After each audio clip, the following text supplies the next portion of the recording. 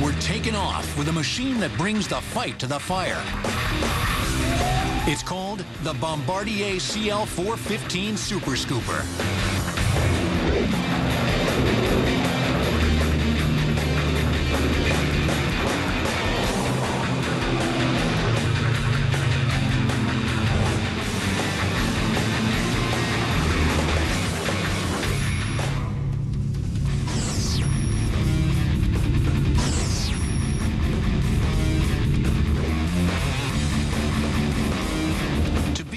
Flames of a fire way out in the wilderness, you're going to need water.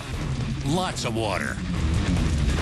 So how do you get thousands of gallons of H2O to where fire hoses can't go?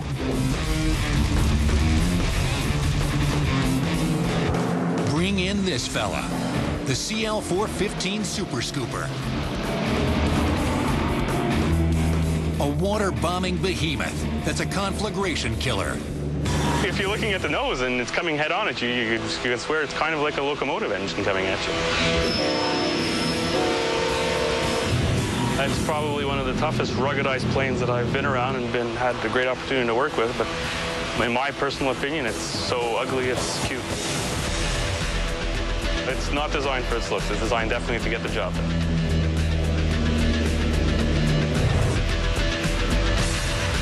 Bombardier CL415 Super Scooper towers nearly three stories tall. At 65 feet long, it's as big as a locomotive. And with a 94-foot wingspan, the Super Scooper is one of the largest propeller planes on the planet. Getting this Goliath off the ground takes two turbine engines, cranking out a four-alarm 4,800 horsepower. That's enough get up and go to power 10 hook and ladder fire trucks. And with a full load of liquid, this mega-sized airborne extinguisher weighs a runway rupturing 47,000 pounds, or nearly 24 tons. In other words, when a forest goes up in flames, this plane is smoking.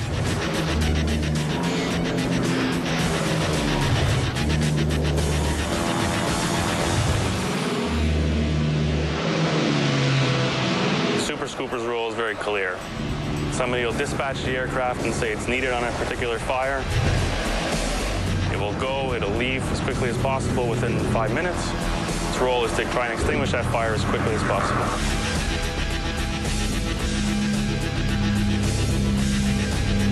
Tim Paul is the pilot with a dead aim when it comes to dropping the mother of all water bombs on a blaze.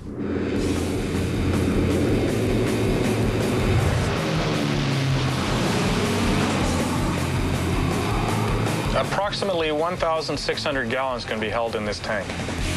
At one time, you can drop all of it, or one quarter of it, or half of it. If you drop all the water at once,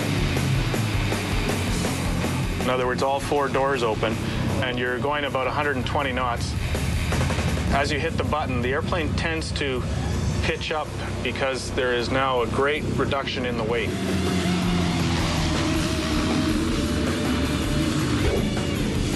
But forget about heading back to base to reload. The CL415 Super Scooper has a secret. This bird is a boat. This airplane is a boat plus an airplane, and so this is shaped, as you can see, like a, uh, a boat, and uh, its shape is uh, efficient in the water. The Super Scooper is equipped with two probes like this one that pick up 1,600 gallons of water.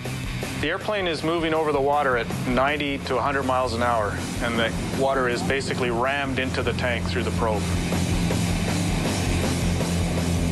The great thing about this aircraft is, is if you have water close, it just scoop and drop, scoop and drop, scoop and drop, scoop and drop, scoop and drop, scoop and drop. I mean, you can end up in a situation where you're dropping up to 28,000 gallons an hour. And that's absolutely amazing. Let me tell you, for a pilot, that's one long day's worth of work. What's the secret to the Super Scooper's flame flattening capabilities? Look out the window and you'll see it. Because of the high wing, it's got amazing lift. It's just the pilot's dream. The wings are big so that you can support the weight of the aircraft. And the aircraft flies at a slow speed, so it needs these fatter, high lift wings. This is the pontoon that helps support the wing, particularly when you're stopped on the water. The airplane will actually tip one direction or the other. So this is a float to keep the wing out of the water. And protecting your tail is equally as important when flying just 50 feet above the tree line. To do that, you need a boatload of power. It needs a lot of horsepower because fighting forest fires is a uh, dangerous environment. You're speeding up, you're slowing down, you drop the load, you add full power, you want to get over a mountain ridge. So it takes a lot of abuse in this environment. The Super Scooper is a giant workhorse. and making a huge difference for brave firefighters battling a blaze.